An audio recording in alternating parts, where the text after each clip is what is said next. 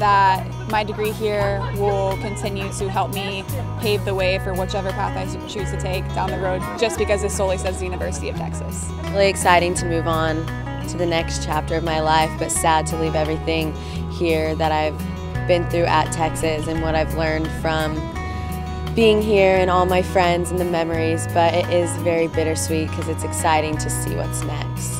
It flies by. You know, I remember my first day on the 40 acres and now, you know, it's my last. So, yeah, take every moment that you have and cherish what you have here. Sports and academics, I could not ask for a better four years of my life. And I, when I walk around campus, I like know that I made the right decision. And even now, when I'm sitting here talking to you, I'm like, this was the best decision of my life to come here. I've grown up a lot. It's taken, um, I guess, a lot to get through going to school here and playing sports here. A lot of time and energy and a lot of learning experiences.